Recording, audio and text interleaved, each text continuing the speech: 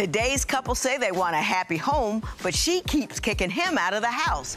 His offenses don't sound drop kickable to me, but let's find out why she's so quick to show him the door and why he keeps coming back. Divorce court is now in session. The Honorable Judge Lynn Toler presiding.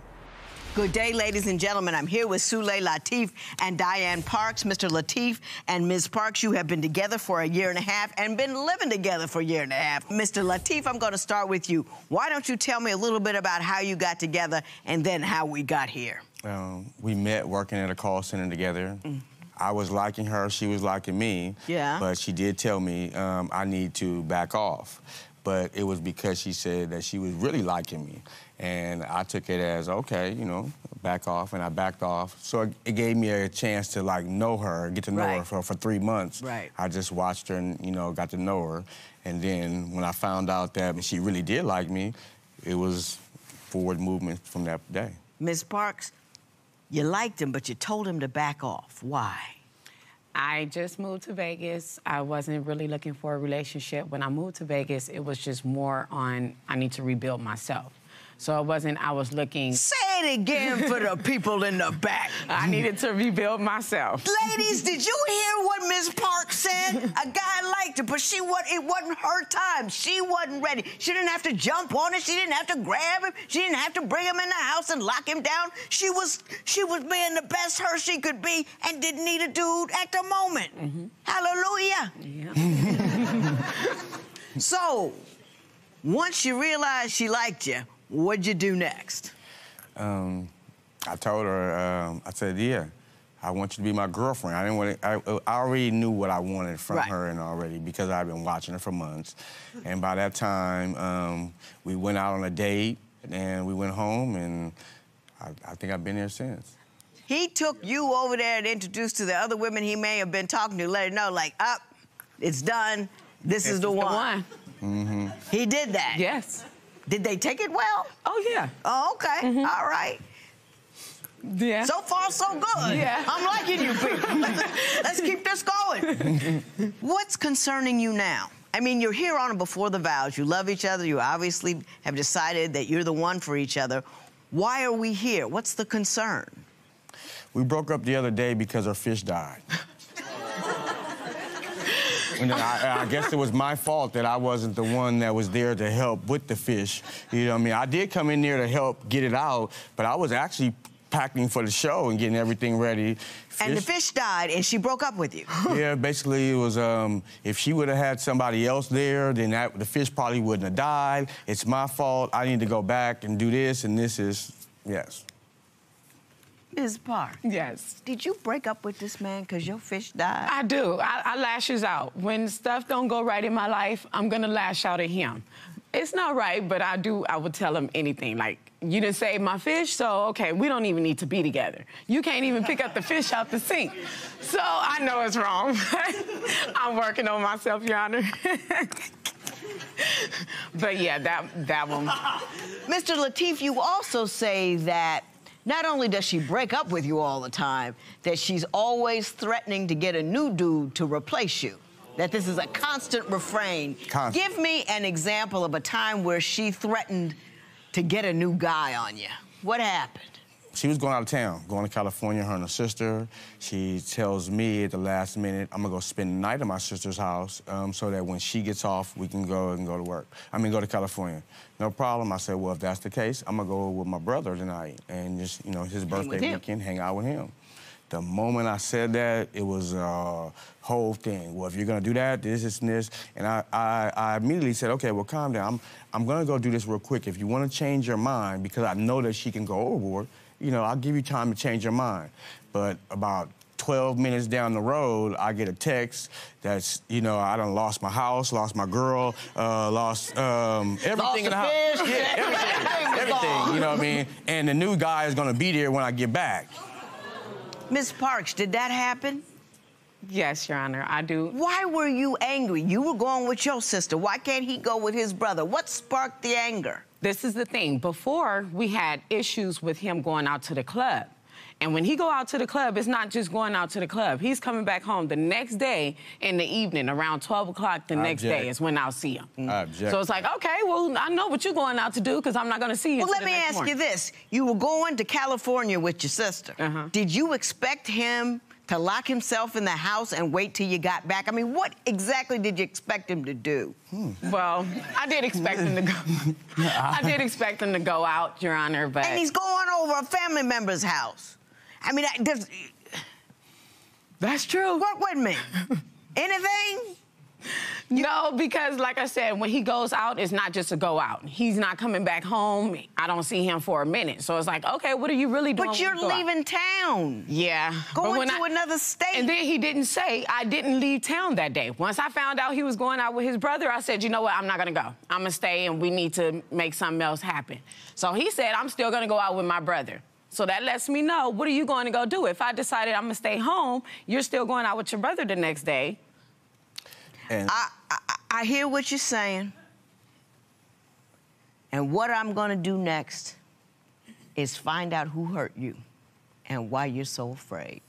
she'll ask me, would you like breakfast this morning? I said, yeah, that would be a good idea. As soon as I said that, she said, that's what I'm talking about. Like, I, I was wrong for agreeing that I that you wanted to cook for me. You know what I mean? Did you go there? Yeah. Can I respond to that? Let me Yeah. take this one right here.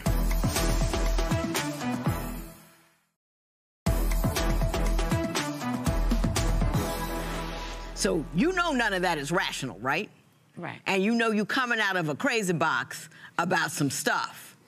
So that's a function of fear. Yeah. Have you had a lot of abandonment or or, or mistrust or Yes. cheating in your background? Yes.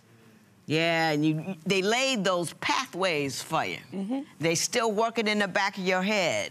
If there's any possibility of an inkling of a maybe that he might do something, could be wrong one day, you're going to end it today so you don't have to see it tomorrow.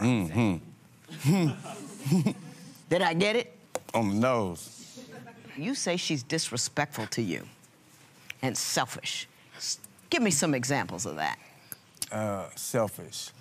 I can go to work all day, come home. Um, if, if if there's a time that she's not working, and I love to cook, and I say, "Baby, can I? Will you cook something?"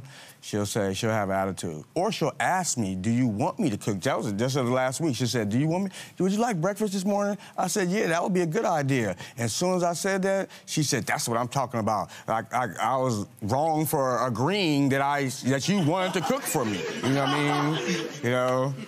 Did you go there? Yeah. Did what did you want him to say? I don't know. It's, like I, it's be a, it's a lot of emotion that go through my head because I'm used to working with Sule. So when mm-hmm. I'm not at work with him, it's like I'm at home not doing nothing. So when he come back home and it's like, oh yeah, were you gonna cook? I did say that No, but you asked. Yeah. I- I- exactly. Once On a I said it, morning. because he he takes my word, he runs with everything I say. So if I say I'm gonna do something, I do have to live up to it. If something happens later on during the day, where if I don't feel like cooking no more, he'll get mad about that. So it's like, okay, I don't feel like cooking because I wanted to go to work with you all day. I'm used to being to work at with you all day, so I don't know. Can I can I respond to that? No. Huh? I, I think you might want take- to. I got one Let- worse than let- that. though. Okay, I will. I Yeah. will. But let me Yeah. take this one right in. If you ask a man or woman or anybody if they want something, be genuine in it. Don't be asking them to find out, is he gonna take me up on it so I can say the blah, blah, blah, and he's always want me to do something. If you don't wanna cook him breakfast, don't offer. But, but you're his woman, Mm-hmm. and you wanna make him happy, and you said, do you want breakfast? And if he says yes, cook breakfast. Now, if he ain't making you, he ain't asking you, Right. but you've got to have a different mindset. Yeah. What you got to say, Mr. Latif? Uh, that's not true what she just said because it doesn't matter whether we work together. You take Thanksgiving last year, okay? We work together. So because we work together, we make real good money. I told her, I said, you know what? Don't worry about that. You know, I love to cook. We both do. I said, but you work as much as me. You know, you've been putting in all this. I'll just buy Thanksgiving, okay? So you don't have to do that. Right. Okay? Bought the whole Thanksgiving. Do you think I ate? No. What happened? Um, we're sitting there. We had to go to work that night. I said, uh, I was sitting outside with my brother. We sitting there and talking, and she says, uh, "Baby, do you want me to come out there and make? You want me to make your plate to take to work?" I said, "Yeah, no problem. Make the plate." Get to work. Did you make my plate? No, I forgot. Now you have it. now she got an attitude because I'm telling her, you know, well, where's the plate? And she's like, well, we'll just go over there at 3 o'clock in the morning when we get off and go get the. And I'm like, I don't want to go to nobody's house 4 o'clock in the morning and bother them just about a plate, you know? Right, so, right. And I paid for the whole dinner for everybody. And couldn't Everybody- eat none. Ms. Parks, uh, talk to me. We were all partying that night. Everybody had drinks. We we were just laughing, chilling, having a good time. So it slipped my mind to make his plate. And then when we made it home, he was like, "Well, did you for make my plate?" I forgot. Why you didn't make your own plate? Because I didn't even eat that night.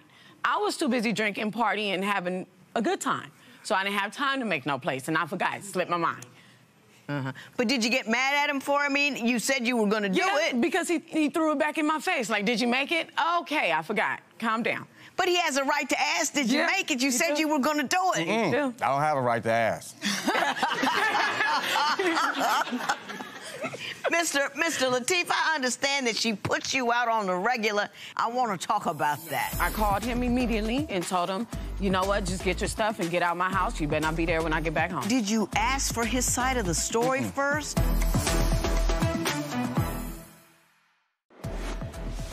Would you want your partner to also be your coworker? Tell us what you think at Divorce Court. Today's question sponsored by Divorce Court will be right back. If you would like your case to be heard on Divorce Court, call us toll free at 1 877 311 2222 or log on to our website at divorcecourt.com. Missed a show? Watch full episodes on our streaming platforms and for exclusive content, go to Apple TV. So, Mr. Latif, does she put you out a lot? Yes. Give me a couple of examples of things that happen that made her put you out. Our biggest one was she got a phone call from a friend that said that I did something or said something to this person that was, you know, like everybody knows I wouldn't even talk like that to her. Um, she was at work that day, took it a little overboard, called me, screamed the top of her lungs to the point where now I hear this every day, but once I hear certain things, I'm starting to think, you know, this might be true. So that day, yeah, I packed up, I left. Did you lose your mind? So when I got the call, I called him immediately and told him, you know what, just get your stuff and get out my house. You better not be there when I get back home. Did you ask for his side of the story first? I mean, this guy was a person. This guy is a guy that you go to bed with at night. You close your eyes, you sleep next to him, you trust him with that. You trust him with your body, you trust him, trust him with all of that. You you didn't trust him enough to say, hey, this is what I heard. What's your side of the story? No. And and when we did break up, I did regret that. I was just like, you know, I should have handled that a different way. But at that time, yeah, I handled it that way. This is a before your vows. Mm-hmm. I'm gonna start with you, Mrs. Parks, Ms. Parks. Mm-hmm. Give me a 30 second impassioned sales job on why you think Mr. Latif is the man for you. I don't want to hear no negative, no no nothing, no nothing bad. It's got to be all good, all positive. Sell me. Go. He's something in a relationship that I never had. So yeah, I do get afraid because I seem like it seemed like everything is too good. So I'll just back off. That's when I put up that brick wall. But yeah, he's a good guy, great guy, makes me feel like a queen. But it's just yeah, when I get certain or certain things happen in our life, I'll get scared. You, you left out, it was beautiful. You left out one thing. I love him. No. he puts up with your ludicrous behind. Oh yeah, yeah, yes he does. A lot of men would have broke camp long ago, I know. but he stays in it to win it. Mm-hmm. Mr. Latif, 30 seconds. Why is Miss Parks? And and you really gonna have to sell me on this one. you could go about and get anybody and avoid all of this. So you tell me why you take all of this. Go. out of everybody I've met or been through in the past 20, 30 years, she's the only person I get along with. I don't like people. Um, I don't like to be around people. I'm just being honest. Um, uh, if I do, you know, I can, I want, you know, we had enough time. Her, I can stay with her 24/7, all day, all night. She completes me. Oh, even better. you made a believer out of me. She fits, right speaking. So I'm gonna give you my best advice. Today's question sponsored by What would you do if your partner put you out of the house on a regular basis? Share your opinion on Twitter and Instagram at Divorce Court. Divorce Court will be right back.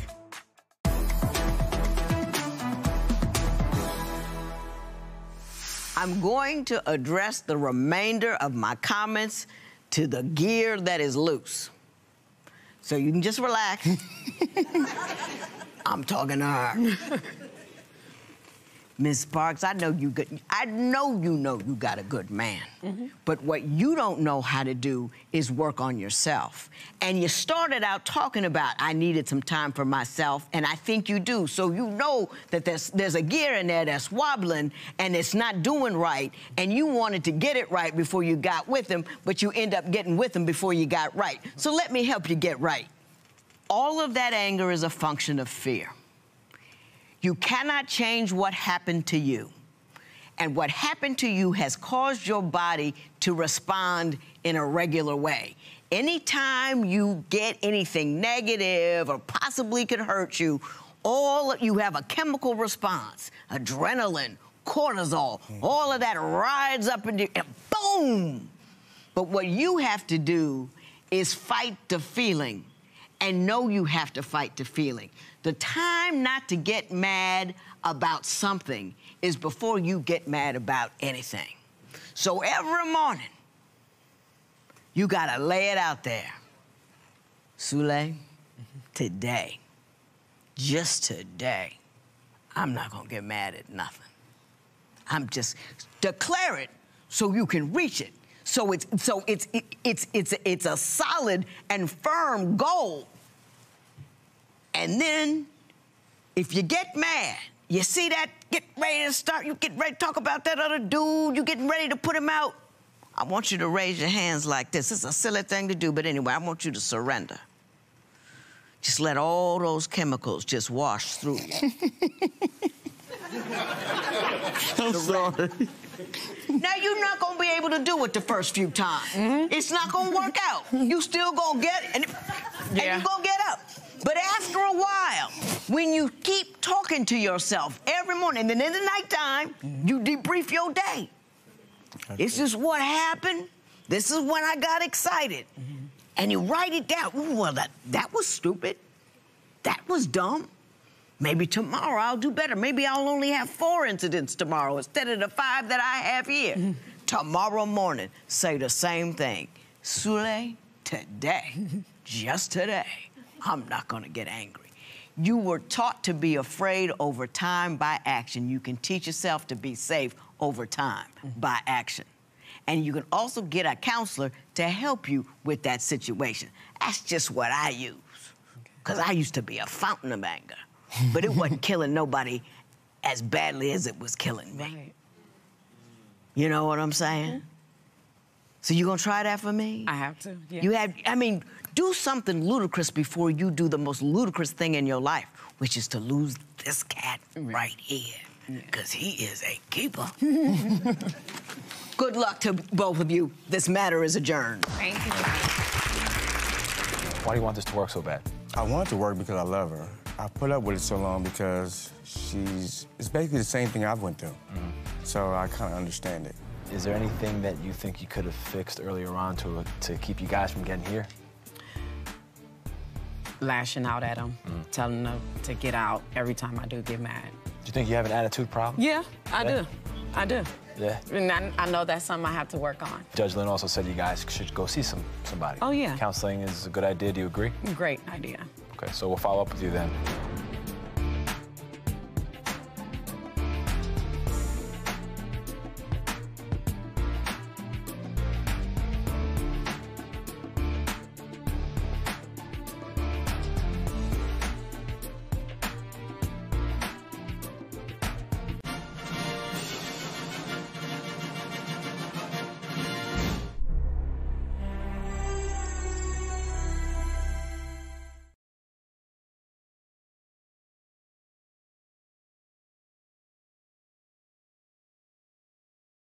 Today on Divorce Court.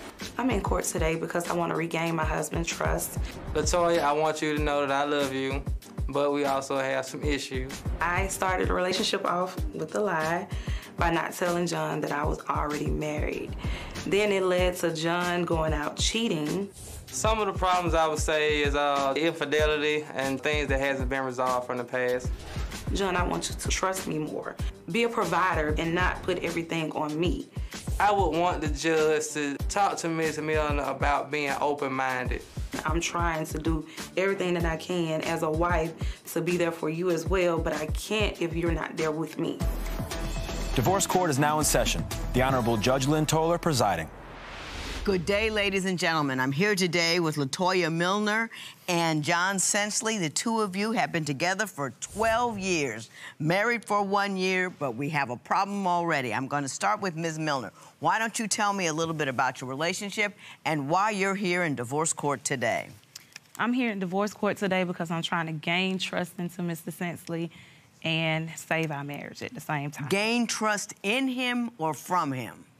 From him. Okay, go ahead. Um, we met in middle school, mm-hmm. and we've been knowing each other since we was about maybe nine or 10 mm-hmm. I moved away right after eighth grade. So he went to a different high school, and so did I.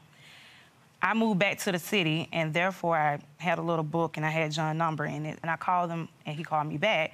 So then we began hanging out. He came out with me for one of my birthday gatherings, mm-hmm. and from that point on, we started talking, and then eventually we started dating. Maybe like six months later, mm-hmm. we started dating Okay.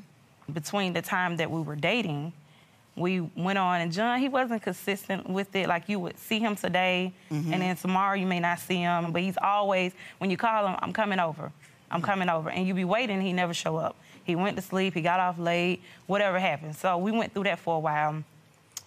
Then I went to Nashville, Tennessee with my best friend to kind of clear my head because mm-hmm. I was falling in love with John. Mm-hmm.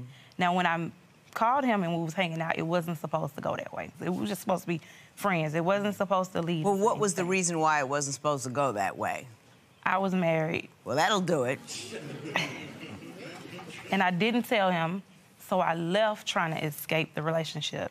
He mm-hmm. called me back and he said, you know, he wanted to work it out, and I said I had a secret to tell him. And that's when I told him I was married. I th- he said he kind of knew something was going on because the phone wasn't in my name. Right, So right, right. when you called, it was a different name. Okay. Mr. Sensley, is that a fairly accurate recitation of what occurred? Yes, yes ma'am. And were you suspicious about what she was doing even before she told you she was married, or did it come as a complete surprise? It didn't come as a complete surprise.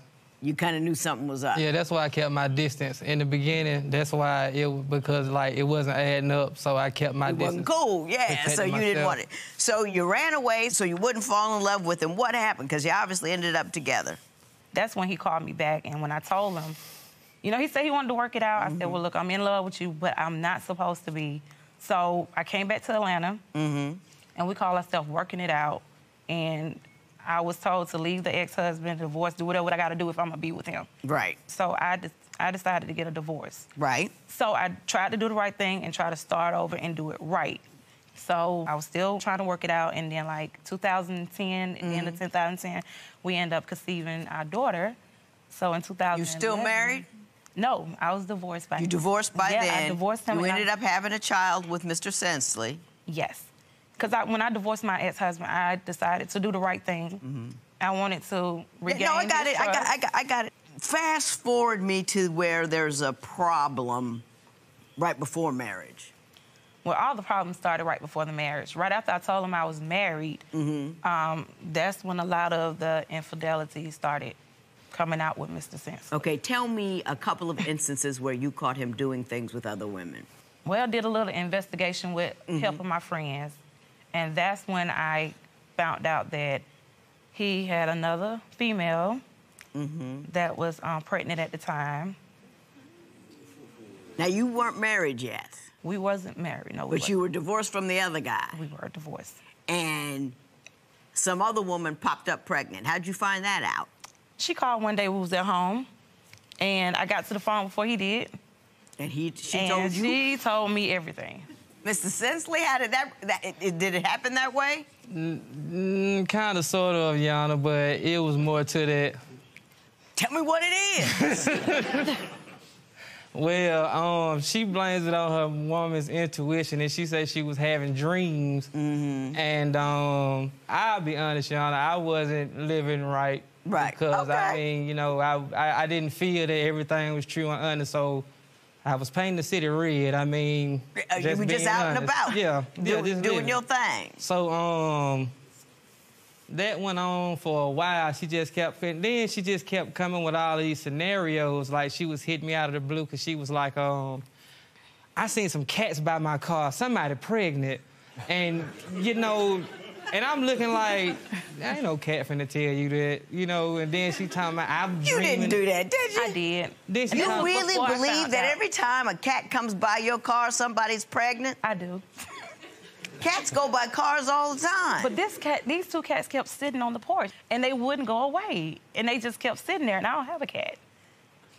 I don't feed them, so I don't know why they was. I've heard of like black cats being bad luck, going under a river. Is there a wives' tale that if you see a cat and he won't go away, somebody you know is pregnant? Yes, because she was. But see, that's the thing, Your Honor. I mean, um, I was fooling around, like Right. I said, I admit, but that wasn't my baby. Uh, So the cat was for somebody else. I mean, I was. I Was it mean, not her? Did it turn out to be that that baby wasn't his? it did. It did. So leave the cat theory alone. I want to go from there and get to the point where you got married and how difficult things have been since you've been married. All of my friends, male friends, know about him. When it comes to his female friend, he doesn't tell them we're in a relationship. Do you not tell people you're married to her? Everyone in my family knows who she is. They know she's the mother of my children. But they don't know you married her. They gonna know now. Well, yeah.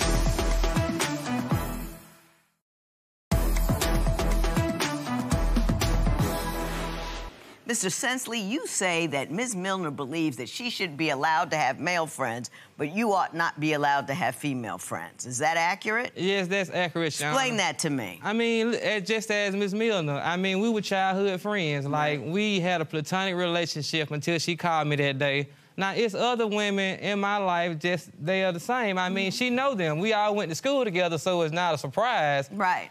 That's just her way of just trying to look at my phone to see if I'm talking to somebody or thinking I'm cheating or something. So she basically doesn't trust me. So, Ms. Milner, do you have a double standard where you can have male friends, but he can't have female friends?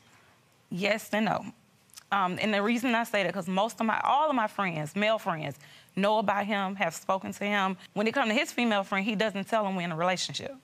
And that's the problem I have. I have no problem with you having a female friend, but if you're not telling them you're in a relationship with me, and I'm just a baby mama, that's not fair. I seem to recall you saying that he also tells his own family that you're his baby mama and not his wife. Is that accurate? That is accurate. Do you not tell people you're married to her? I'm scared to tell her, Deanna. Why? Because the next, I fear that the next day we'll be going through a divorce or something. I mean, it's so up and down. I mean, they know she in my life, but they, I'm scared because I don't, I don't, you know, I don't want to get. You don't wanna go out it. like that. Yeah, I don't. I don't. Everyone in my family knows who she is. They know she's the mother of my children. But they don't know you married her. They gonna know now. Well, yeah. Indeed, they will. Mm-hmm. Indeed, they will. Mr. Sensley, you say that she is interfering with your spirituality because she has a problem with the women at church. Tell me about that. That's another thing, Yana. I grew up from Louisiana, so I grew up in the deep south, and you know, religion and spirituality, Mm-hmm. Right. that's a part of you. Now, I don't believe she understands when I tell her that that's why my heart feels at home. Because, I mean, you can go to whatever church you want, but it's going to be one that makes you feel The home, church that you and yeah. welcome. Right, right. I can't go there because, I mean, I'm being accused of talking to women at the church. Why can't he go to the church he likes? Um, cause he is talking to a member of the church. Y'all Oh, you know, oh, you a particular woman. It's a little blurry, but It's yeah, a little blurry, but a it's but it's woman. real. Do you know what we're talking about here? I know who she talking about, but I don't know what she got on that paper. It says good morning, and then can't stop looking at you, miss you, stop out for a second. I'm sorry, I just got the message. Let's take, let's talk at church. Sorry, are you? I can look at it. Yeah, I, I hope you can read it because I had a hard time with it.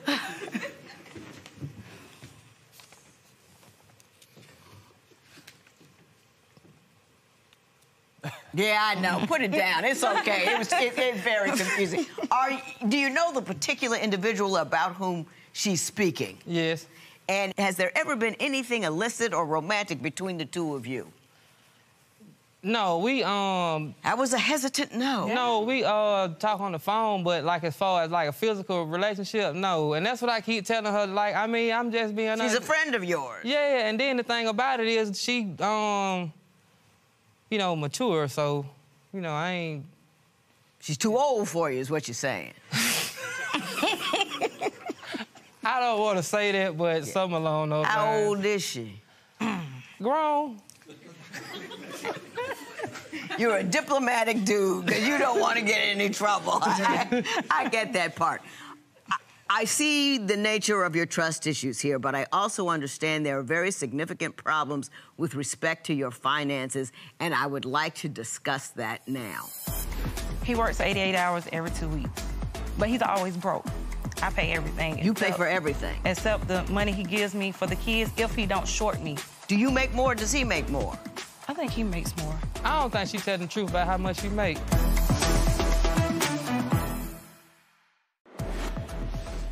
Is it okay for your partner to make friends with the opposite sex at church? Tell us what you think at Divorce Court. Today's question sponsored by Divorce Court will be right back. If you would like your case to be heard on Divorce Court, call us toll free at 1 877 311 2222 or log on to our website at divorcecourt.com. Missed a show? Watch full episodes on our streaming platforms and for exclusive content, go to Apple TV. Ms. Milner, you say your husband fails to take seriously his responsibility as the financial uh, head of the household. Why don't you tell me what you mean by that? He works 88 hours every two weeks, but he's always broke. I do 80 hours every two weeks. I have three kids to take care of and a whole bunch of bills and credit cards in my name. Along with that being said, a lot of times when we want to go out and eat or go out on dates, take the kids places, he don't never have any money. So I'm constantly swiping my credit cards. Okay. Who pays what bills at the house? Who pays the rent? Who pays gas, utilities? I pay everything. You pay except- for everything. Except the money he gives me for the kids if he don't short me. Well, he's on child support, is he not? He's not. But you were. Yes, and that's the whole thing. When I was on child support, I was paying an arm and a leg. Mm-hmm. That's the money she's used to having. Now, when we sat down and we both put everything out on the table, what we had to pay and this and that, Right. I meet those demands for the house, but I also have bills that I have to pay, you know, and then also last year in April, my mother passed.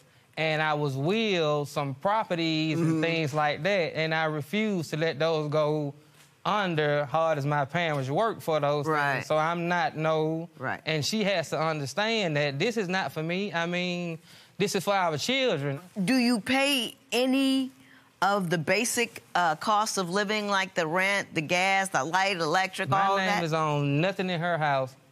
She, But you're married, so it's your house too. the amount of money she asked me for, I give it to her, and I go on about my business. So there's a set amount you're supposed to co- contribute to the household Yes. every month. You do that, and, then And- the rest of it you spend maintaining the legacy that you would like to leave your children. No, I mean I have a car note, and you know, like I said, all of my bills. It's just once I meet the demands as far as her, you know, I still have Does to. he give my you a consistent amount of money every month? No.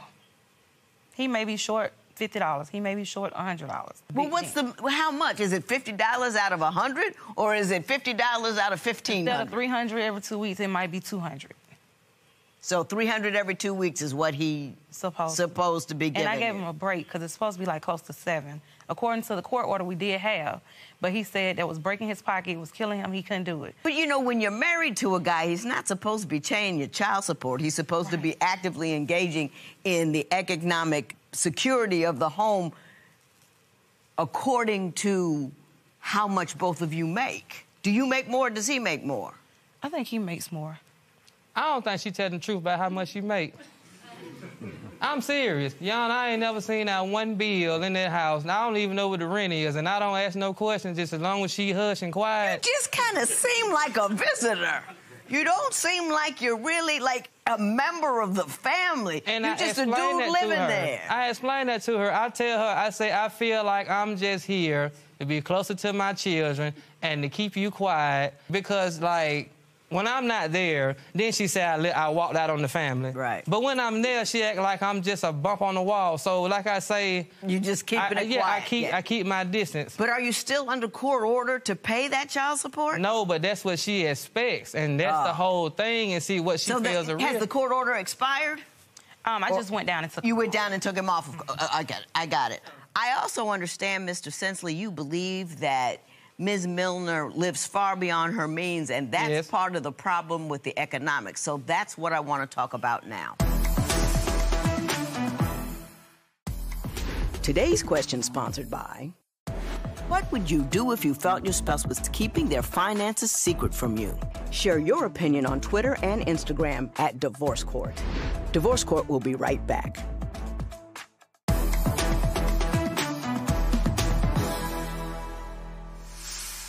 So tell me briefly about her economic excesses. Well, Your Honor, I come from a two-parent household.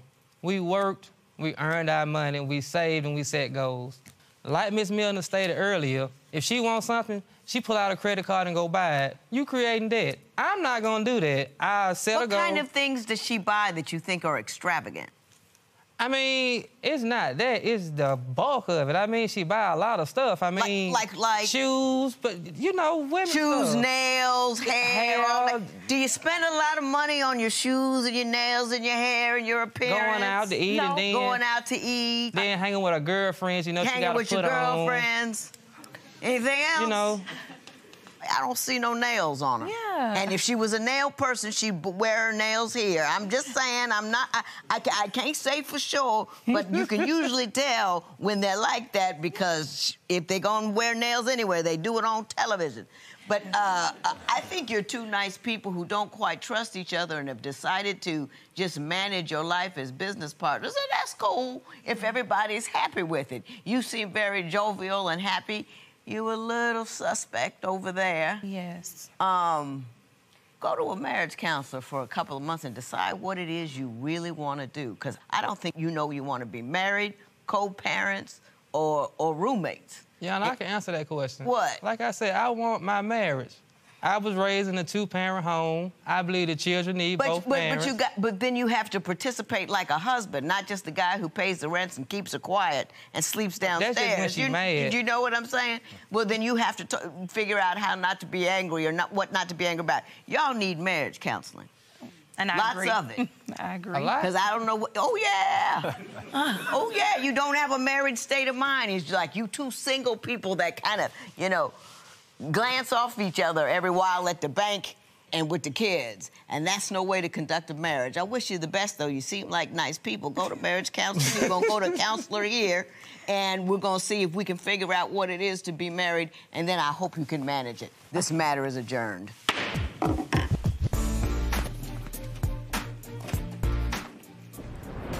Judge Lynn said you guys are more like roommates and you don't have a marriage state of mind. What's your reaction to that? That is correct. I wish we didn't, but honestly, it is. I understand we do have issues. I mean, I'm willing to open the word things out. She is my wife and I love her, and we have children. Um, I don't want to shake that foundation for my children.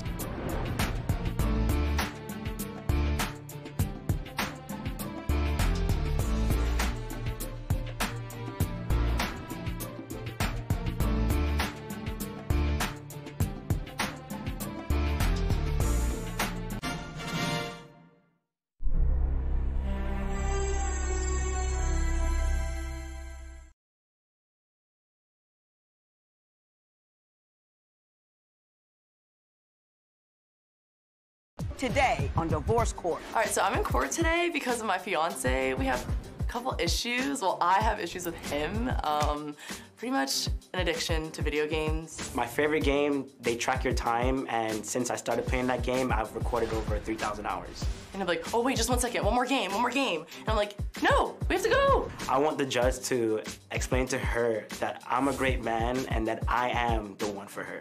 Stefan, I want you to put down the video games and pick me up a little bit more. Divorce court is now in session. The Honorable Judge Lynn Toler presiding.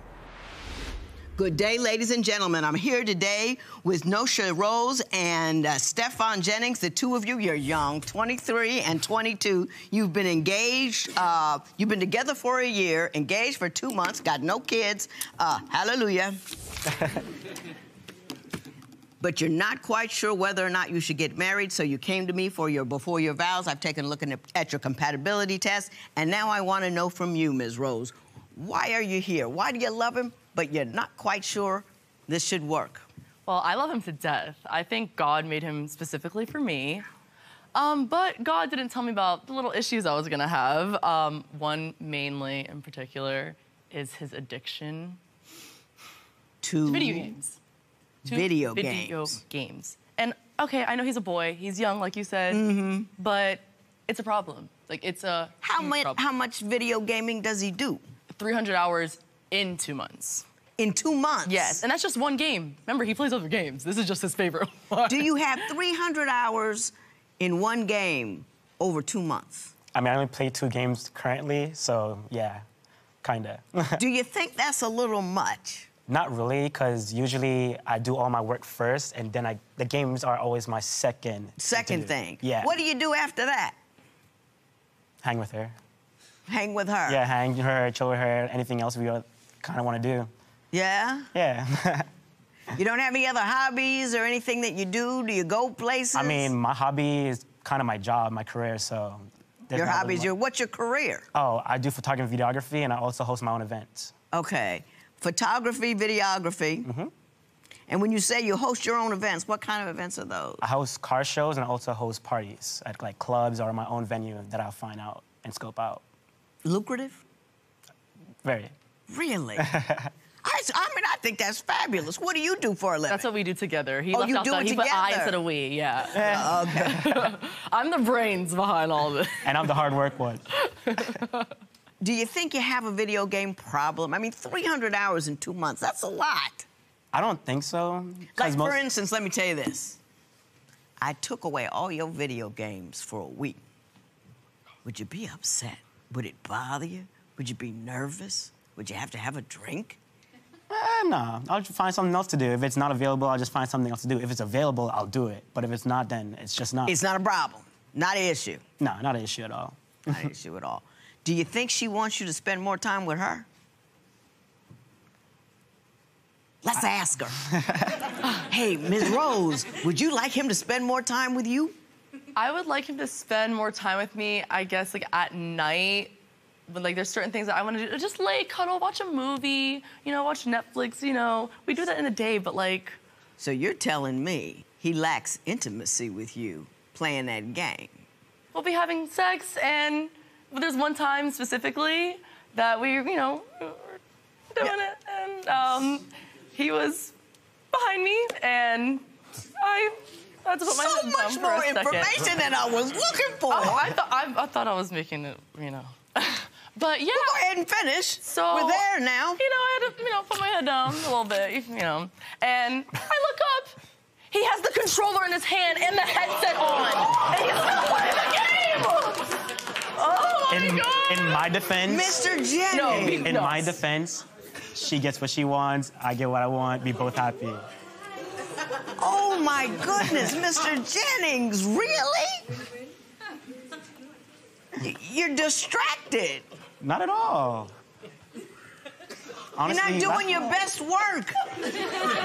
You're not dedicated to the proposition of pleasing. Well, I honestly, I had no idea until I looked up. So he was doing a decent job. Oh boy. Do you go outside much? a lot. Do you really? Where you go? I go out, she's usually with me, so we usually do things together. So we usually go to the movies, or I'll take her out. Like we'll take random trips to like Naples, which is like two hours drive to the other coast of Florida and stuff like that. Like Oh, that's a good thing. yeah, we do That's good extravagant, thing. Uh-huh, extravagant things like that. You know what I mean? With our time, I don't like doing like the small things like. You know, what, what are the small things? Small things are like like going out to dinner or stuff like that. Like, I I rather plan bigger events for us and stuff like that. I don't usually. Go out with my friends because I don't really events for have that much friends. So Is is that true? He on the daily he's kind of absent, but he goes big when he goes. Well, he's very antsy. So, you know, like I said, I like to lay down and watch a whole Netflix series, like for the whole day. He can't do that. He'll be like, all right, so babe, what are we doing next? What are we doing? Let's go somewhere. Let's do something. Like, come on, come on, come on. And just like, relax. And then if I'm, you know, not down to do anything, then, oh, that's the whole leeway for him to just hop right on the video game. And that that's it. So Exactly. you guys ever sit at home and just talk? I guess we're together so much that, like, you know, he hears me yap as much as it is. So he just sits and listens. Oh, he doesn't listen. I'm telling you that right now. I know he doesn't listen. I mean, I'm a He communication. lets you yap, but he ain't listening. this is experience talking. Married 30 years. He's heard like about one tenth of what I said. and that's on a good day. I'm going to switch topics here and go on to something else. I understand, Ms. Rose, that you come from a very religious background, and that the fact that you and Mr. Jennings, and now the whole world knows that you guys are intimate hmm. prior to marriage, your family has a great deal of problem with that. So I want to talk about how that is affecting this relationship. they don't think that we should kiss, hold hands, none of that out of wedlock.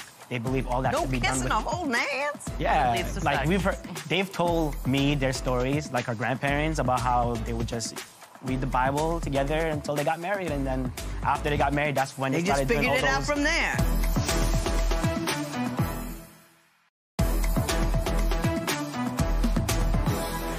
So, Ms. Rose, tell me about your family. They are very religious? Yes. And are they unhappy with the fact that you two have intimate relationships even though you're not married? Well, they love Stefan, but they don't love the fact that they know that we're intimate. um, I had a pregnancy scare actually, and my family like lost it kind of. Right. Um, they didn't even know I was intimate Right. at all. so to hear that I'm pregnant, it's like, oh wow, you must have. You been- told 'em? Yeah, yeah. I was scared. we had to leave our vacation early and everything. We, were, we went to vacation in the Turks and Caicos. Um, that's where he's from. And it was amazing. We were supposed to stay for like a month, and I cut it short to a week because I was scared that I might have been pregnant. Why didn't Um, you just find out down there? I'd have stayed on vacation. Because if you were pregnant, the damage is already done. The hospital care on the island is non-existent, Uh-huh. so her doing all those things down there was not an option. Do you think that her family's views on sex at all impacts your relationship, or you really just kind of blow it off? I don't blow it off because I respect her and, her and her family. So I try to keep like the PDA To a minimum. private or mm-hmm. away from them, from their eyes. Exactly why, when she had her pregnancy scare, they just found out, oh, she's having sex. Like Gotcha. that's a big thing.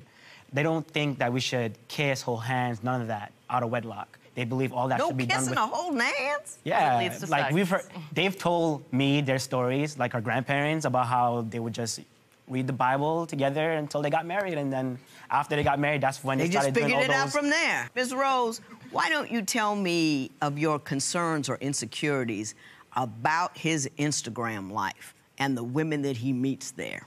Mr. Stefan, also known as Bang Coupe, has 25,000 As followers. whom? Bang Coupe. B I N G? No, no, no, no. B A N G C O U P E. Bang Coupe. If you'd like me to tell you how he got that name, or if you want to ask him, that's up to you. How'd you get that name? Uh, all right, I Okay, I'll tell it. So it wasn't me, but it was some other girl in the car, and they were banging in the coupe, and that's how he got Bang Coupe. So I guess I'm Bang Coupe 2.0 or whatever. to elaborate on the story. This was totally way before I met her. It could have been two way before you're only 22. there is no way before. I mean, I've been driving since I was 16, so we were just doing what we were doing in the coupe, and Out one of of my wedlock. friends, one of my friends rolled up on us. you He were caught- doing it in the car somewhere where people could roll up on you. I must be so old. it's just, you know, we, at least we hid. Uh, Ms. Rose, um, why do you, but I want to go back to Bang Coupe's uh, business. Do the women on Instagram bother you? And who are they and what is he doing with them? Well, the fact that he has a lot of followers, I try not to let it get to me, but of course, every girlfriend has their little insecurities and jealousy. He does photography, so, you know, I call them social media sluts or, you know, hoes or thoughts. Excuse me, I have a lot of names for them. And, you know, they. Well, are, is he doing anything inappropriate with them or is he just taking pictures? The pictures are slightly inappropriate. Um, Okay, well, Nick, could you bring me the you. pictures? okay. Thank you. Mr. Jennings, why don't you explain to me what you're doing and why?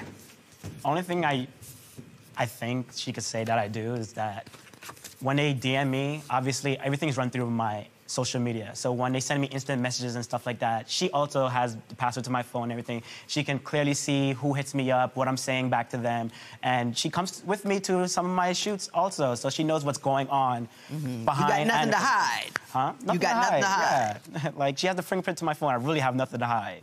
You joined in this picture. Was she there that day? No.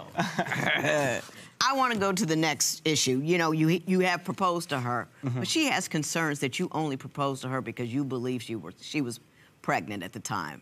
So we want I want to discuss that next. Oh my gosh, very religious, no sex in a Right. wetlock, and might be pregnant. Did her family lean on you when they thought she was pregnant?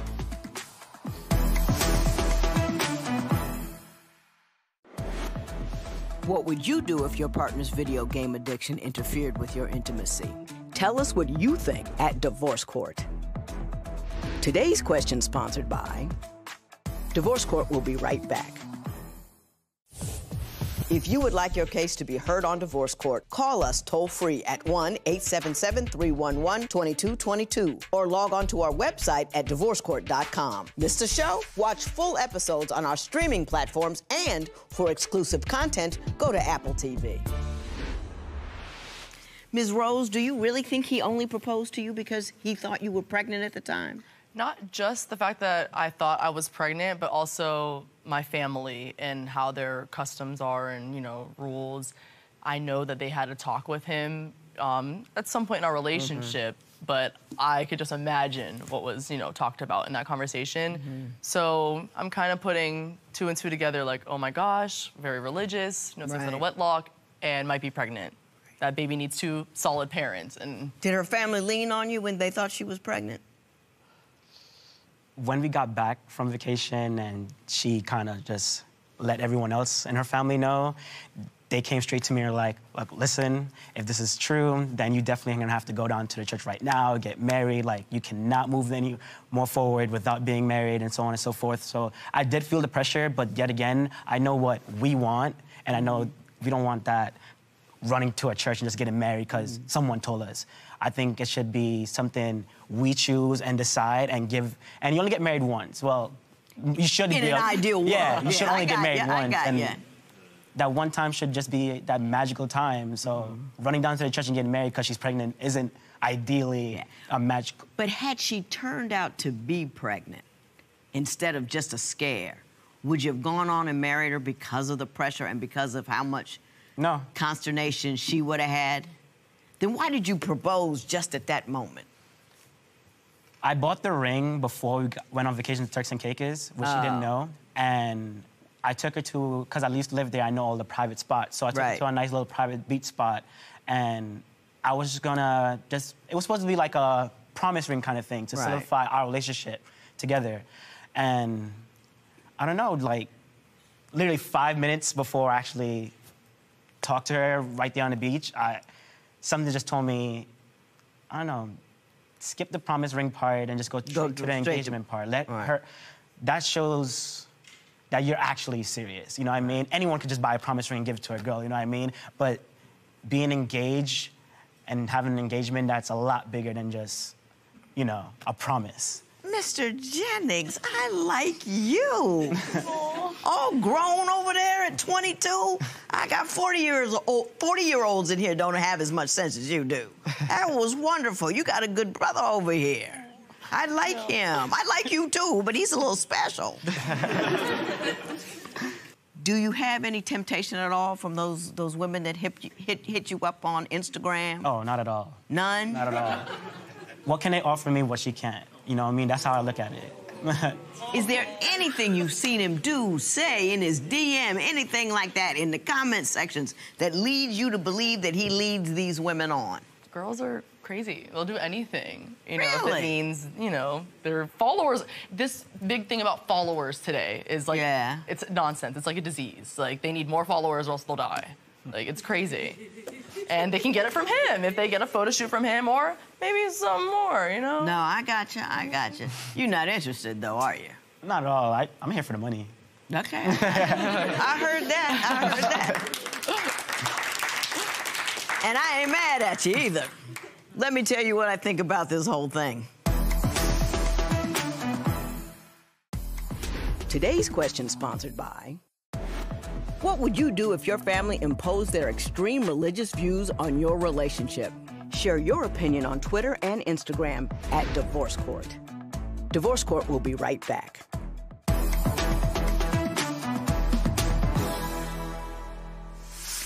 I don't know how I could possibly like you two more.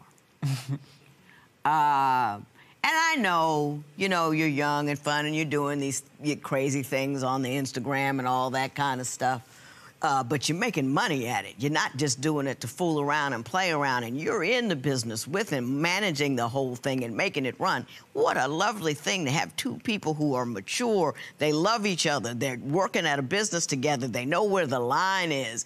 Most days, I'm gonna, I'm gonna say something to you about the video games, but most days they know where the line is. He don't want to rush to get married just because of this, and oh, he, you know, the the thought that went into that. Why give her a promise ring? Anybody can do that. Let me let this woman know that she's my future by giving her an engagement ring. Oh, you sound so good over there.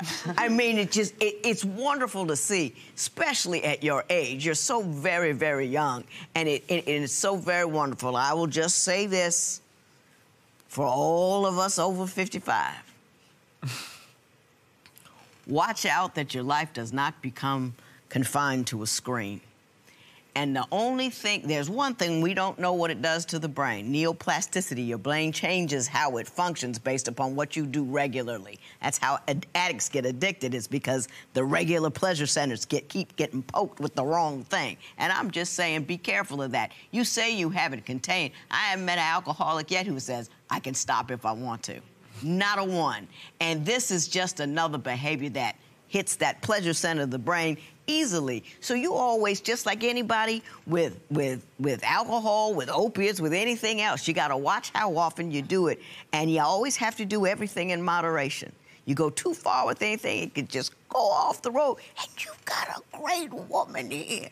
I mean, she's fabulous. She's beautiful. She loves you to death. She doesn't mind if you play video games while having sex with her. This is deep. That is a deep, abiding love. I'd have hit you on the head with something personally. But anyway, listen. I wish you the best. Go, you know, take your time, do it in your own time, but but but take this woman on and marry her and have a wonderful, fabulous life. And I may even follow you on Instagram. This matter is adjourned. Are we convinced this is this is it? This full on, full throttle? Absolutely. This is my twin, female twin. What are the wedding plans? Wedding Tell us. plans, Turks and Caicos Grand Turk. You're invited. I'm, I got two weddings coming up. Great. All right, cool. I appreciate you guys. I wish you best of luck. Thank All you. right.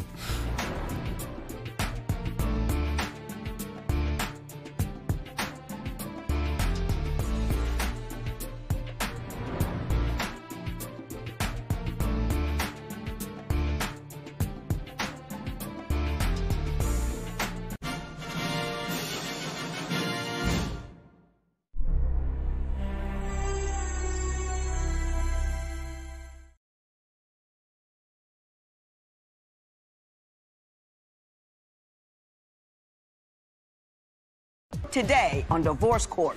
I'm here at divorce court because I'm tired of being married to Darquan, tired of his cheating, lying, and not helping me take care of our kids. When I first met Giovanna, she was an angel. Now she just a pain in my butt. I'm just being accused of cheating all the time. I really want the judge to tell Darquan that he needs to grow up, be a man, and financially support his kids. I want the judge to say to Giovanna, be more supportive of your husband, and when things get rough, don't talk down on him. Darquan, I want to get a divorce. I'm not in love with you anymore. I'm done. Divorce court is now in session. The Honorable Judge Lynn Toler presiding. Good day, ladies and gentlemen. I'm here today with Giovanna Kendrick and Darquan Ellis. The two of you have been together for 10 years, married for three. You have two children together. Uh, you are here on a divorce case. Mrs. Kendrick, you are hot about a $375 game he bought when I believe you were in a shelter and he bought a game off your card. So you hot about that and you want that back. But before we get to that, Mrs. Kendrick, why don't you tell me a little bit about your marriage and why we're here today? Well, like you said, we've been together for 10 years and we met at an early age. Um, throughout the marriage, Darquan has not been faithful. He has not helped provide for our children. And um, I'm just done. I'm ready for a divorce. Well, give me the first time or so, or early on, when you found out that uh, he was cheating on you. Well, about a week after giving birth to our, our son, Uh huh. I went through um, Darquan's phone and I found out he was texting some girl that he met at his job like the night I gave birth to our son. And he told her that he was a single father of two and that he lived alone and he just financially supported me and our kids. What about the website? Um, once I was helping him do an application and I was on his email address and well, his email account, and I seen a link to a website and I went on it and I seen an account with Darquan's picture on it and pictures of himself soliciting sex from other women. Pictures of himself? All of himself. Mr. Ellis, do you care to tell me what happened? Um, I would like to say that uh, first and foremost, before all the, the cheating and stuff happened, Right. um, I was a faithful guy How long had you been faithful before the cheating stuff um, started? since we got together. I've been but, faithful. but I don't know. You got to give me some dates here. You know, for for a year, for two Uh, years. September 27, 2016, we got married. Like I said, like a, a little after that, like like a year later. and a year after the, you got married, you started cheating. After, yeah. So you were faithful to your wife for a whole 12 months, is what you're trying to tell me. Yeah, cause she like she would- she would always accuse me of cheating when I wasn't. Uh-huh. So you thought you might as well make it true. I mean, it, yeah. He you said that like before. Were you married when she was pregnant and you were typing another girl when she was pregnant? Yes. How long had you been married? Um, that's been that, that was like a couple of months, like a couple of months after we got married. And you were cheating on her. Yeah, somebody she, else a couple like of she months would she would she would accuse me of cheating when I wasn't though. Like that would that that pushed me to cheat. That pushed me to cheat. It's her fault. It's mo- mostly my fault because I did it, but she pushed me to do it. You sticking with that story? Yeah. Okay. You said in your papers that the problem was you were only having sex one to two times a week and that you wanted to have sex every day. Hence the cheating. Well, that was one of the reasons why I cheated because like I wasn't getting sex at home. So So like, not enough sex and she was accusing she of was you. accusing me of cheating, and then we would argue, and then like she we like we would argue a lot. Hmm. I wasn't getting sex. That that that caused me to I cheat. got you. Tell me what happened when you called his job. One morning, I woke up, got our child ready for school, and um, Darquan wasn't home yet. He worked overnight. And so I called him to see where he was because he had my car, and he didn't answer the phone. I called several times. So I decided to call his job, and I spoke with his manager. His manager said that Darquan left around 12 that night because our, our son had an emergency. Did that happen, Mr. Ellis? Yes, it did. Do you have anything you want to say about that? I would say that that um I'm sorry that that happened, and I'm gonna be I'm gonna be a man about it. I, that did happen, but that was because again that I wasn't getting Getting what you want. yeah getting what I wanted. You say that Mr. Ellis is terrible with money. Why do you say that? When he did have a job and he got paid, he would just spend mainly all his money on himself and not like help with bills or household necessities or our children. Is Mr. Well, Ellis Like, your, your used to have response to, to that? Make him buy things. Like I literally had to make him. Well, I would say that she didn't have to make me do anything because I'm a grown man.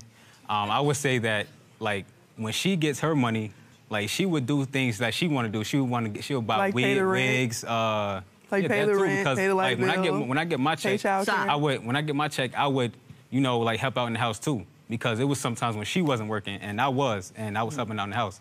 But when I get my money and I do whatever I want to do with it, like it's a problem. But when she do it, it's okay with it. Well, who's the primary breadwinner? Who was like when the rent is due? Who pulls Well, she out was. the who? She was. she- okay, about the utilities and all that. Who was doing all that? Her. The food. Who's doing that? Well, like both of us uh, at that time, like, cause it was it was a time where I where she wasn't working and I was, so like, Mm. but majority of the time she was. And when you got a check though, did you bring it all home and say, "Here, baby, I'm easing the pressure"? No, What would you do? I would go like buy chains and hats and stuff like that, like earrings. But I would still like help out in the house though, like like the You can't extra just say, "Baby, I got the rent this month." No, you gonna buy a change and hat and give her twenty dollars and say, "Here you go." Nah. You're looking kind of weak over there, Mr. Ellis. You, you see that? You, you see the strain coming, don't you? I understand he quit his job two weeks after your son was born. Yes. What reason did he give you? Because it was too far from where we were living at the time. Mr. Ellis, is that accurate? No, it's not. Like the reason why I had lost that job, I w- I didn't get fired from the job. I had got um, I was on parole at the time, Uh huh. and I caught a violation. That's why that's why I couldn't work because I had caught a violation. You're the subject of that sentence, not the object. But anyway, I'm going to go on from here and ask you what your extended family situation looks like because we already know what the nuclear family looks like, and it's not looking good. Mr. Ellis would have his family over, and my things and my children's things would end up missing. And I would tell him about that, and he would continue to let them do that. Have you known your family to pilfer from your house? To, No, to not not my house, but like in general, yeah. In general, they just.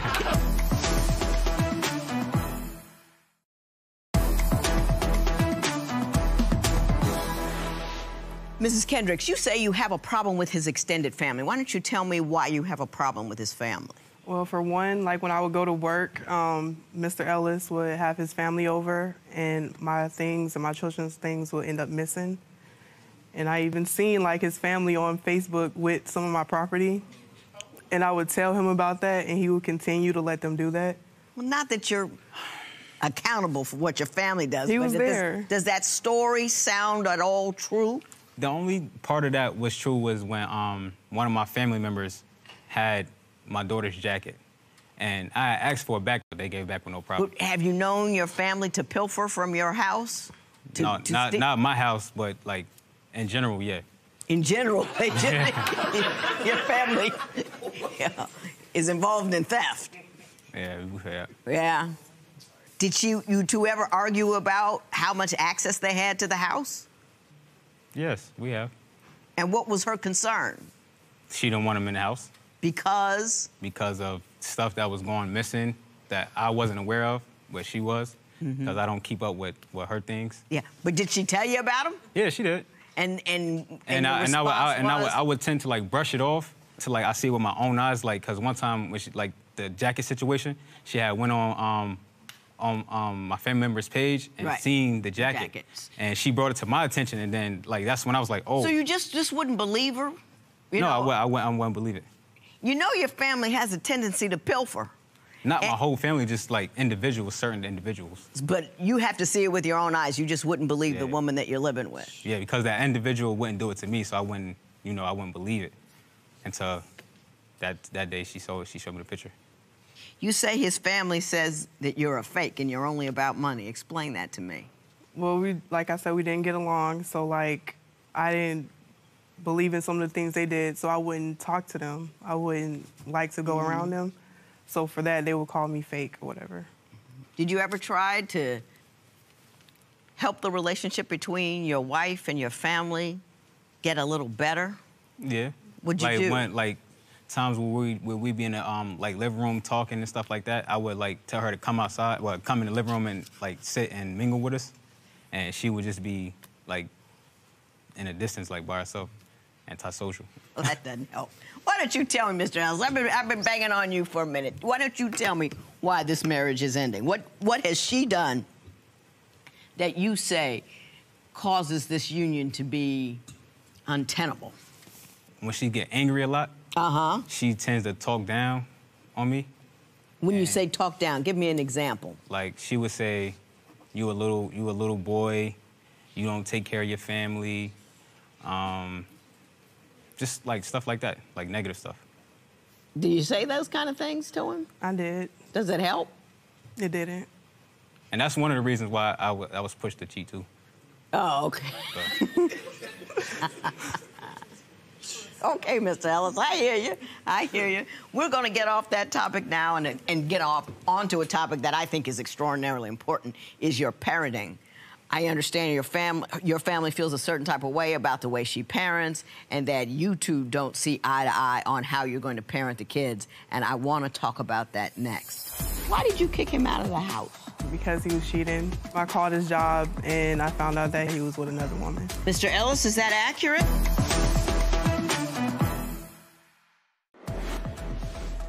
Do you think high school sweethearts usually make good spouses to each other? Tell us what you think at Divorce Court. Today's question sponsored by Divorce Court will be right back. If you would like your case to be heard on Divorce Court, call us toll free at 1 877 311 2222 or log on to our website at divorcecourt.com. Missed a show? Watch full episodes on our streaming platforms and for exclusive content, go to Apple TV. Your family doesn't like the way she parents. Why? Do you know why? I wouldn't say that my family doesn't like the way she parents. It's it's like we we we grew up around like two different environments. I grew up around like at a certain age, you you tend to take care of yourself. Mm-hmm. And she, I think she grew up around like you have to like build up a child or whatever the case may be. Right, right, right. Like like that's How about childcare? There was an issue about the age of the children that cared for your children. Yes, like sometimes Darquan will let some of his family, a family member who's underage, um, keep our kids while How he's how old? What age range? I mean, were they Probably like 16 or 17? 13 or something like that. They they was they was way earl- older than that. Way older than that. Yes. Okay. Why did you kick him out of the house? Um, because he was cheating. The the time I called his job and I found out that he was not at work, he told me that he later on told me that he was with another woman. Mr. Ellis, is that accurate? Yes. What did you see in the the text the next day? Like I forgave Mr. Ellis after that. We made up. We said we were going to make our family, our marriage work. And the next morning, I got a text from Darquan saying that he was in love with the other person and that he didn't I want to be with me. I didn't with text me. her that personally. It was it uh, still got sent to me, and with his permission. He told me So that you, make, you you cheated on your wife. She caught you. You make up with her, and then immediately text the woman you cheated on her with that you loved her and not your wife. Is that accurate? and he was at her house that morning. Is that accurate? You, most part, yes, yes. But I didn't text the other female and tell her that I loved her, and then was with her. I didn't, I didn't do that. You were with her first, and then texted the other woman that you were in love with her. Y- yes. I stabbed her first before I shot her. I didn't shoot her before I stabbed her. Get it right. you, you understand what I meant with that metaphor, right? Yeah. Why did you leave the state with the kids? Um, I was tired of the back and forth. I felt like we were on the same page and we were going to try to work our marriage out. And I wasn't going to, you know, stick around for Darquan to decide if you want to be with me one day and want to be with the other person the next day. Why, if you if you felt that she drove you to cheat, for all the variety of reasons that you've given, why didn't you, instead of doing all that, just leave her? Because you were in love with somebody else. Yeah, you were, you were leading her to believe that you were going to work out her marriage. And- um, I would say at the time I was confused because like, like me and her was was arguing a lot, and the the other fe- the other female that I was dealing with at the time, like, she was showing me more of uh, like more uh, affection The other like woman that. always shows more affection. Good God, don't you read? you know, you remember, yeah, baby, you know, when you're trying to get somebody, you're always nicer. It's always easier. You don't have any kids with her. She's excited to see you. You haven't hurt her before. So, yeah, she's delightful. The other woman's always delightful. Good God. Where are you living now? Um, I, I stay in um, Albany, New York. Do you have your own home? No, I don't. I stay with a, a roommate. A woman. No. I don't believe you.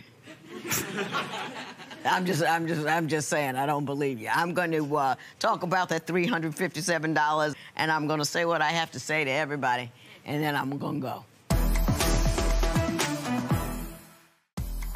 Today's question sponsored by. What would you do if your spouse blamed you for pushing them to cheat? Share your opinion on Twitter and Instagram at Divorce Court. Divorce Court will be right back.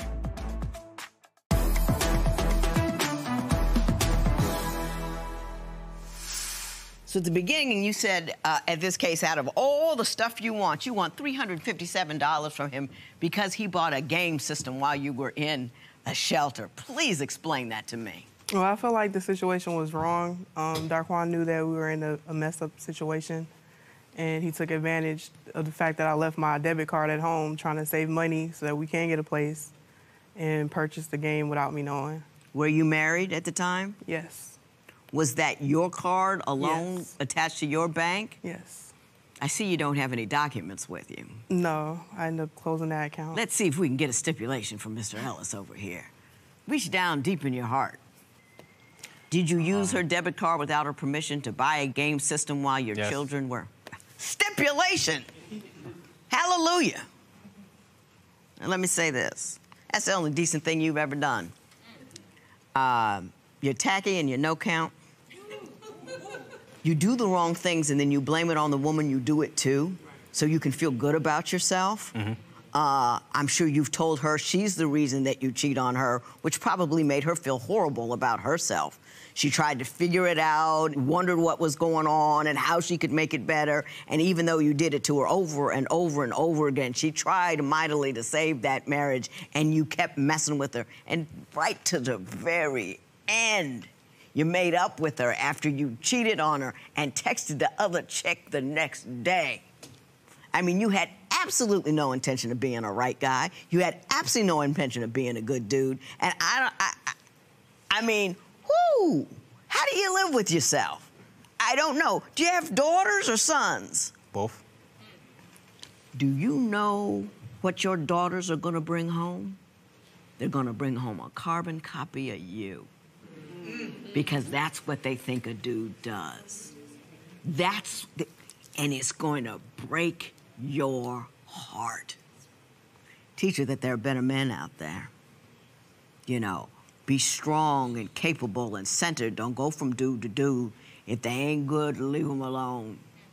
There's a saying, I can do bad all by myself, but I don't believe that. I think you could, some people just do better by themselves. I do. You know what I mean? Better to do have nothing at all than having having that piece of negativity in your life.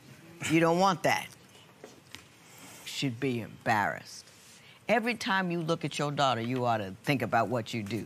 But the joy that I get today is I'm gonna give $357 to Ms. Kendricks for that debit card. It is so ordered. What could you have done differently thinking back? Um, I could have just asked my wife, like for for the money that I spent instead of me taking it. So, what has this whole experience taught you about yourself?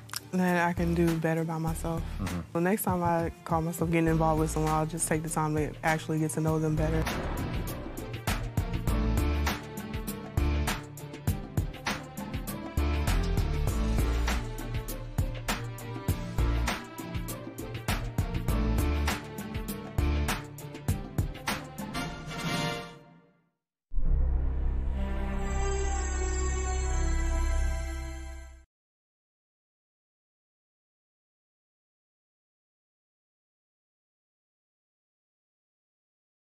Today on Divorce Court. I am here at divorce court today because I'm tired of the father of my children lying to me, cheating on me and not giving me the time that he's supposed to give me and my children. Anna feels that I have a, a, gambling problem. Anna drinks every day. Every time I would come home from work, she would have a glass of wine in her hand. When Joseph cheats on me, it really breaks my heart because it makes me feel like I'm not woman enough for him. Anna doesn't trust me, and she thinks I'm not a good father, and she thinks I need to grow up. I want the judge to tell Joseph that he needs to straighten up his act and he needs to mature as well.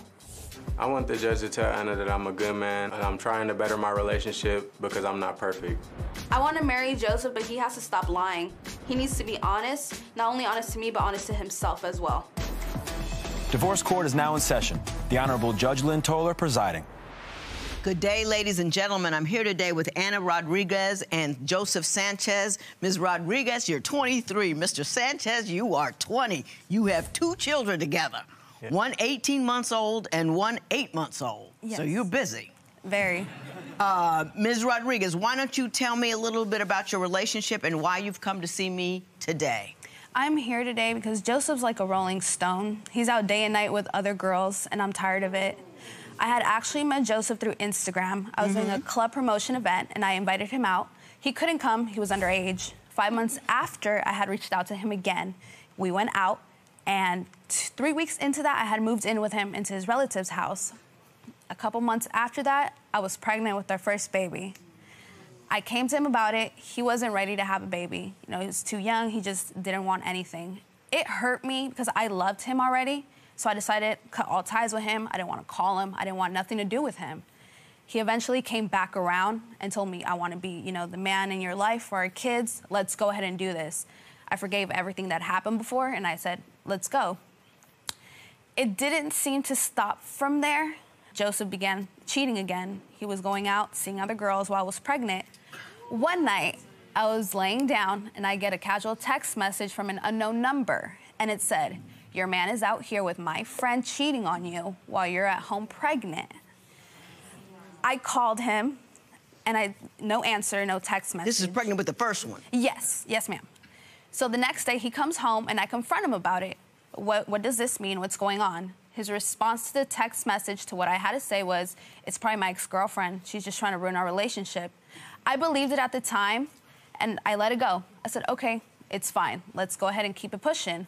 So then after that incident, there was an other incident where I was left home alone. I was pregnant, you know, with my first one still, and he was not answering my phone call. He was not answering my text messages.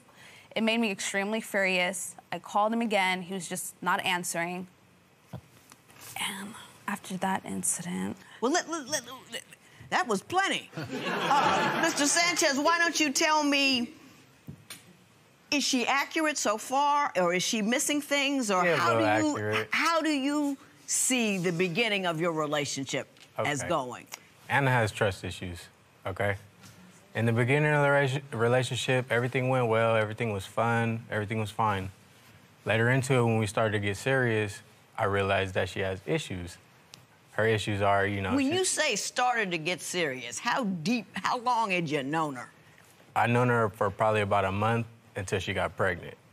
So the issues were like not clear at the moment because we didn't know each other clear enough for me to realize that. Before our relationship, she had a bad relationship, and that caused problems between us and you know my family when we had our kids. She went through my phone one night when I was asleep I, I was getting notifications, my phone's getting blown up. I have social media, you know, it's pretty popping. but uh, I have an open phone policy. She knows my code, everything. She went through my phone. She texted the girl. It went too deep, and she took it a little bit too far. So it bothered me, you know. But I, could, I thought I could let you go through my phone. I thought I could let you have my password, and it caused problems. Does he Does he have an open phone policy? Now he does. But it shouldn't get to the point where you need to let me look at your phone and let me find stuff and you be okay with it. Okay. I'm about to lose my mind. The thing is with me. No, no, no, no, no, okay, no, no, no, no, no. Oh no. I'm about to lose my mind. Do you know why? I'm about to lose my mind because you two think that the issue is his cheating and and and and going through phones. That's not the issue. The thing I'm about to lose my mind about is the fact that you knew a dude for three weeks and then you moved in with him. You knew a chick for three weeks and you moved in not to your house, not that you were a grown man out on your own, but you moved her into a relative's house. Oh my God, why would you do that? And then you said, I don't think I knew her that well. Yeah, no, you don't know anybody in three weeks. You have absolutely no clue who they are. You didn't put any thought into it. You was like, oh, I really like her. Let's move in. Let's get pregnant. You gotta think about what you're doing before you do it. Now I'm done. What do you got to say? Okay. You're right. You know, we were young. I'm younger than her, but at the time we both needed each other. I did let her move in with me with one of my relatives, you know, and everything was good. Everything went well. We were getting our money together, you know. She had a job, I was looking for one. But the thing is, though, is with me, I don't have trust issues. because the simple fact is, is that if I choose you, I'm not gonna, you know, go behind your back and, oh, well, she's cheating on me. I'm not insecure and I'm not sensitive. Well, were you doing any of the things that she said you were doing with the other girls and all that kind of stuff? That causes trust issues. Yes, so the reason. Let- let- no, let me ask. I'm asking you. Did you do those things she said you did? You know what? A few times I did, and I did leave her when she was pregnant, but I just didn't know how much I had coming my way. You know, it was my first baby, my first baby boy, and you know, I was 17. So, Mi- mind you, this I had my first son. I went through postpartum depression. The pain was very unbearable. I was home alone. I didn't have the support system I needed to have from him or just family in general. So I had actually torn and they had to sew me up. So every step I took, I literally cried. And I had nobody there, you know, give me the baby. I got you, don't worry. I had to tough it out. I had to tough it out for my son. That was the only way I had to do it. That was not the end of it. S- I got pregnant with my second baby six months after having my son. Wait, wait, wait, wait. Eh, eh, eh. okay, We're gonna take a break yes. so I don't pass out, and then we'll talk about the second baby. I see him hop in another car as he was going to the store. I got furious. I was like, okay, let's go. I tracked him through the phone. I got a brick, I got a bat.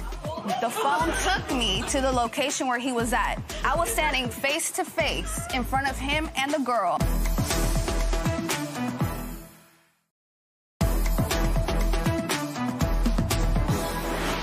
There's so much here, but I want to stop after that first baby with the extraordinary failure on your part. You get that part, right? Mm-hmm. Yes. He was a boy, Yes. so that's why he did that. Yes. You, you- you know what I'm It's saying? understandable. And I understand how tremendously heartbreaking and difficult that was for you. Having said that, why the next one if he behaved so badly with the first one? I thought he would change, but I was pregnant with my second daughter, and I thought everything's fine. One day, he told me, you know, I'm gonna go to the store. I believed him, you're gonna go to the store. I called him because I actually needed something from the store. No answer, no text, no nothing. So I was able to hack into his Stop. I was able to hack into his account and get his messages. Turns out he was actually gonna go see another girl with my car. So what I did was I called up his relative and I said, I need I need you to do a pop-up for me. She said, okay, let's go. She goes to the location where the girl's at. You know at. what a pop up is? So she goes to the location where the girl's at, and she confronts the girl for me, and she puts her on the line for me, and I tell her, look, this is who I am, and that's my man, so leave him alone. I didn't know who you were. She said, well, I don't care, because I need to get my stuff done. I said, well, I do care. He shows up and tells his relative, let's go. You know, he played out like he didn't know the chick. Fine, cool. 15 minutes after that, he calls me, what are you doing? Where are you at? I said, what do you mean, what am I doing? Where am I at? I just caught you. That's what I'm doing. I hang up. I didn't want to talk to him all day. I didn't want to do nothing all day. He comes home at four in the morning. My car is wrecked. Yes. Miss, Miss- Mr. Sanchez, what would you like to say about those I do circumstances? have some things to say about that. Okay. Sure do. That did happen. She did go through my things, and you know, it is what it is. But I did not end up hanging with no females. I went to my relative's house. I was there all day, and you know, the thing was is that I just stayed out all day with my relatives. We were having fun, and then it ended up rain, raining that night. and I lost control of the vehicle and I hit the curb. And left my car on the side of the road. And I wasn't there anymore the next day. I That's not cry. the only incident. It- oh, it's not done. It- What it- else? It's, it's, it's not over. So actually, just recently, 2 months Uh-huh. ago, he tells me, I'm gonna go to the store, and I see a car pull up in our neighborhood. I see him hop in another car as he was going to the store. I got furious. I was like, okay, let's go. What's up? I called him, no answer. He called me back, and where are you at? What are you doing? And I hung up. I tracked him through the phone because you could track people through your phone now. So I called my friend up and I said, Can you come watch the babies really quick? I need to go handle something. I got a brick, I got a bat. The phone took me to the location where he was at. I was standing face to face in front of him and the girl in the car. They thought I was gonna do something with the bat and the brick, so they sped off right in front of me. I said, I'm not done here. I called a taxi. I went to the other location he was at where he just stopped. He's sitting right in front of a car, like, what's going on? I'm like, what do you mean what's going on? I just saw you with my own eyes. That's what's going on. You wanna know his answer? That wasn't me. really? Your Honor. Your Honor. It wasn't me. It wasn't me. No. It wasn't you at all. This is what happened. I went to the store. I ended up meeting up with one of my friends. We went out to the restaurant, you know, we got something to eat. You know, I didn't check my phone. I ended up going back to the house, and she did pop up outside. But I thought it was somebody totally different. I did not know who it was. She walked up to the car with a brick and a bat. Yeah, I got that part. Okay, and my friend pulled off. Now, I don't know who she's seeing. She must be seeing stuff because that wasn't no female. It wasn't Long a young hair, lady. Hey, hey, hey, hey. She might have seen me. I don't want you people to believe that I think that what you said, anything you're talking about, is reasonable. I, I just want to let you know I think it's all unreasonable. Mm-hmm. But I want to stop right here and turn the table off this, because all of these stories are going to be the same. I want to talk about money and gambling, and then buckle up. I had gone to work and I had to hide my money in a shoebox. He managed to find the shoebox, so by the time I came back, there's $80 missing. Mr. Sanchez, where'd the $80 go?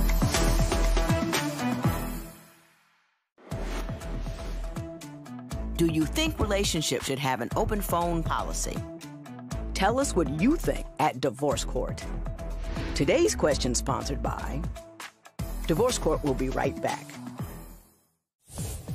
If you would like your case to be heard on divorce court, call us toll free at 1 877 311 2222 or log on to our website at divorcecourt.com. Missed a show? Watch full episodes on our streaming platforms and for exclusive content, go to Apple TV.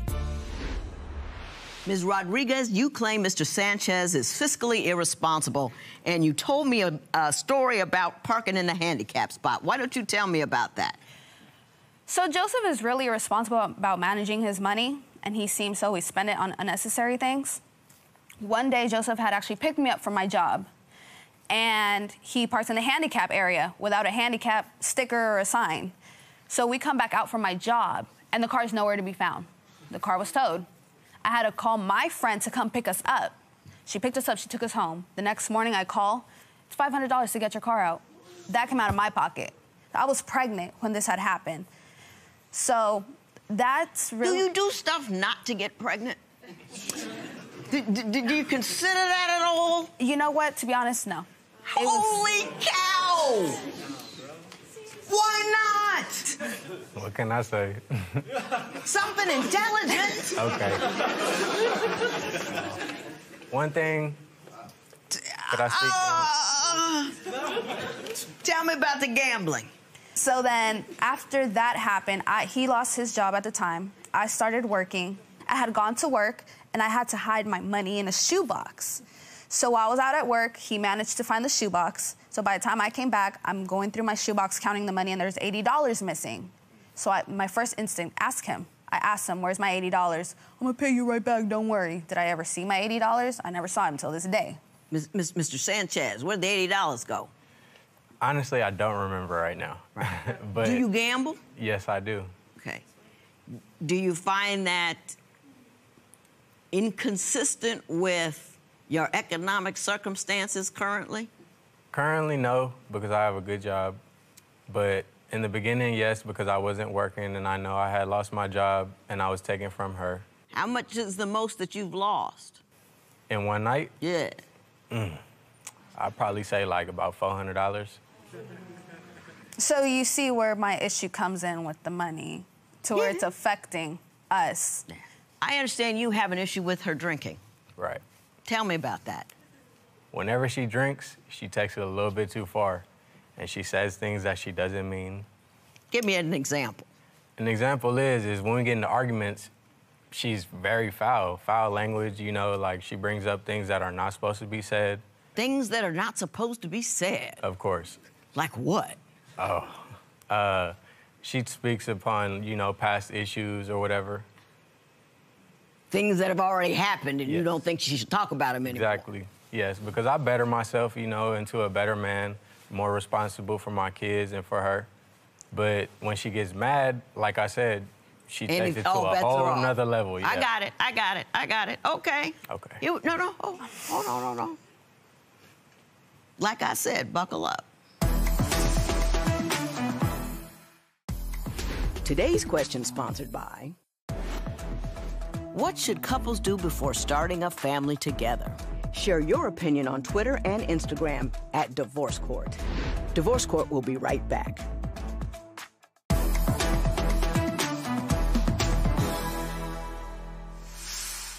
Understand that you are legitimately angry at him for, for, behaving in a childish, immature, irresponsible, ridiculous manner pretty much throughout the course of your entire relationship. I get that. But he's a kid.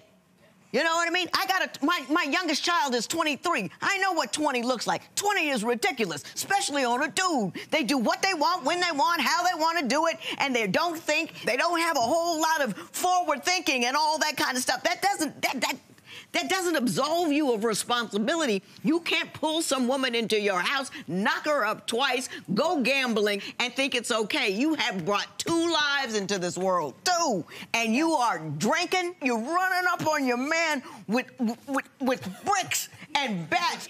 He's he's a, he's a philandering, cheating, irresponsible dude. That's who you picked.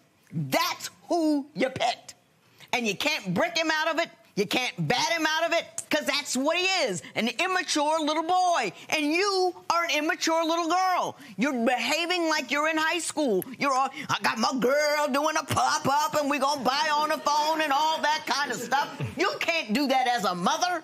You have to be a grown person. You have to be intelligent. You have to use birth control. You didn't even try. Your children are not going to have a snowball's chance in hell in growing up as rational individuals because your her parents are incompetent. You're not worried about the right things. You're not interested in the right things. You spend money turning up or turn to whatever. I don't know what it is. Yes, Your In my day, we called it acting a fool. And that's what you spend your time on. You're worried about is he with this girl or with that? Yeah, he's out there doing that because he's a child. Stop having children until you've stopped having fun. Stop having, stop making a relationship when you're still in high school. And emotionally, you're both still in high school. Birth control. That's all I can say. Birth control. One more time. Birth, control. control. Everybody say it with me. Birth control. This matter's adjourned. Uh, what do you think is going to happen after you leave here this afternoon? I don't think things are gonna change. I hope so. Like she said, he's too young. So I get that, but I just think he should be more responsible. As a father, I'm gonna take more responsibility to my family, to my girl, and step up to the plate.